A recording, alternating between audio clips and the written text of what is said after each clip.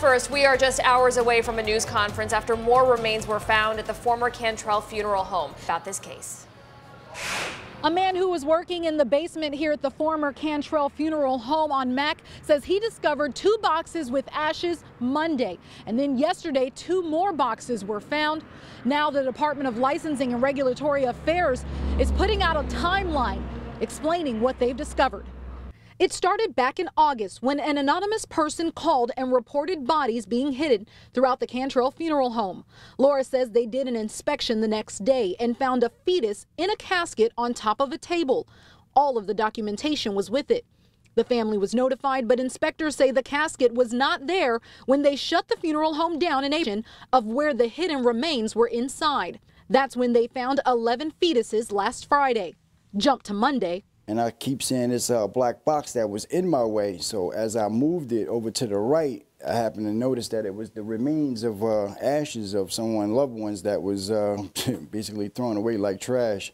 A man working in the basement says he found two boxes with ashes in the basement under a shelf. Wednesday, two more were discovered. Names were attached, but no medical records.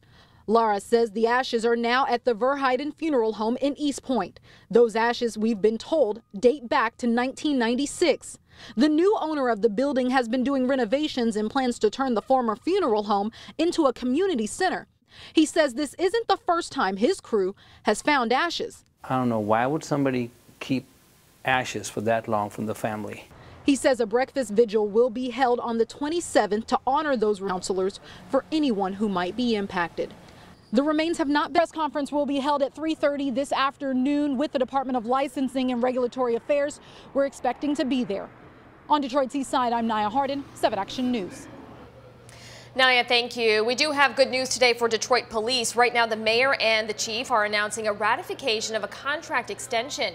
It gives raises to all officers. It also restores key benefits lost during the city's bankruptcy. The contract ran through 2020, but the city reopened it to make the wage increases happen. A news conference is set to start any moment now. 7 Action News reporter Jim Kiertzner will have a closer look